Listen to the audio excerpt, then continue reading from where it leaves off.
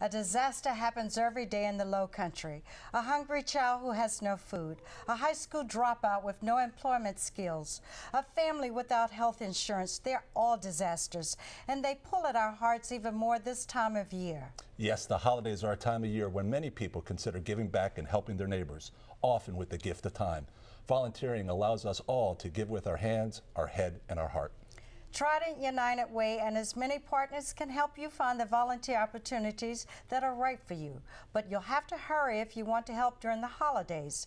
The most popular holiday volunteer opportunities fill up fast. As a community service, United Way offers a free, comprehensive online holiday volunteering and gift giving guide at tuw.org. You can also access volunteer opportunities at United Way's 211 hotline. Just dial 211 for free anytime. Everyone can do something to help people in need and lift up our entire community.